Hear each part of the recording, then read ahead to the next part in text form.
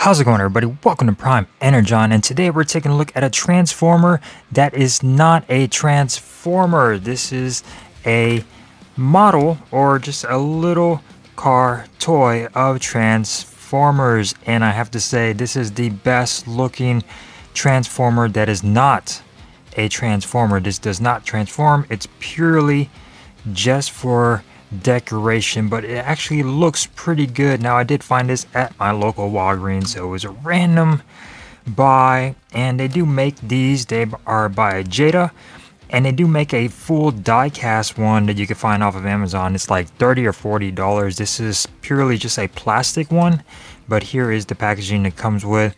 Uh, you get Optimus Prime. You get a whole bunch of different options as far as trying to collect them all, you do get a Barricade, Bumblebee Crosshairs, a Hot Rod, which is the Lamborghini, and you also get the Western Star Optimus Prime, which is actually really cool. And this one is going to be the Optimus Prime Hollywood Rides, and that is stuff on the packaging. So very nice and cute to have. So taking a look at this, the detail on here is actually really nice. Like I said, this is the best looking Optimus Prime that is not a Transformer. You can see the detail right there, the Autobot on the front. Just looks really good. I love this plastic shiny chrome on here. You get the headlights, you get the smokestacks, everything, all these little lights down here at the side. Nice shiny gas cans, looks really good. The tires are actually rubber, which you could tell that they are actually rubber on here. So this thing looks freaking phenomenal. Now I know, like I said, this is not a transformer, but I thought it would be kind of cute to uh, just show this guy off just because the detail on here, the flames, the paint job actually looks really good. I love this whole uh, shiny plastic they got for the uh, little visor on the front. Taking a look how the top looks. Nice flame details. All these lights going across the top just looks really good when it comes down to the detail. I love this guy.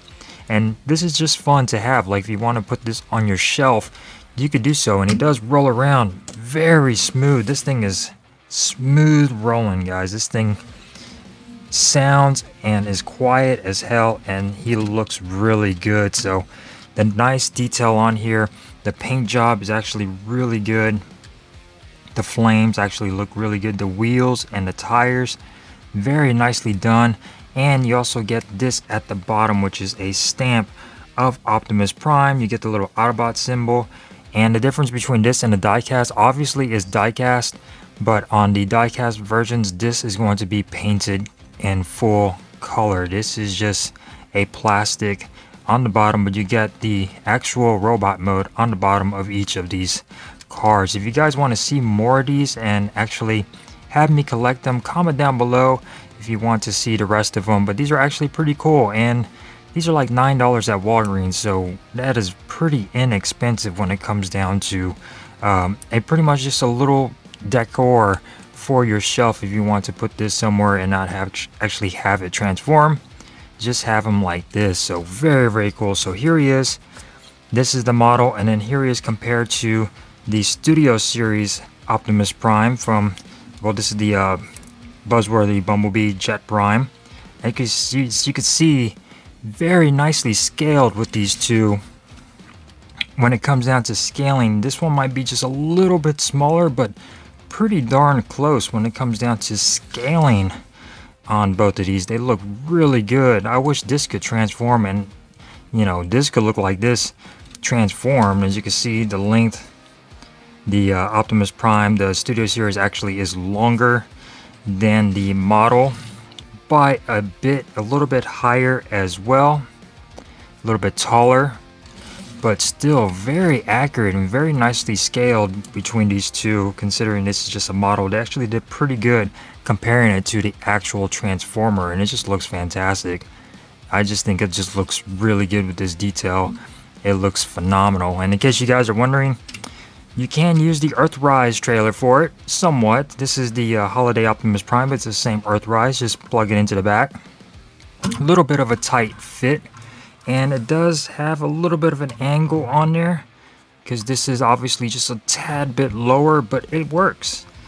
you could actually use the Earthrise trailer for this. A little stiff for moving around, but... Oh, sorry, Op. A little stiff and moving it around, but actually, Earthrise trailer might actually work on this and it might actually look pretty good. So you can do that if you want it to. Pretty cool, pretty cool. It is a little tight to get out, but still. Actually looks pretty cool. And I just think this is just fun. And it just looks really cool just to put on the shelf and uh, display them just like this. Next to you, Optimus Prime, you could have this one transformed and then put this one right next to it just to show his alt mode and that might actually be pretty cool. So thank you guys for watching this quick review of the Jada Toys Optimus Prime. Pretty inexpensive pretty cute. Collect them all on the back right there. And I will see you guys next time. Don't forget to subscribe like and share. Peace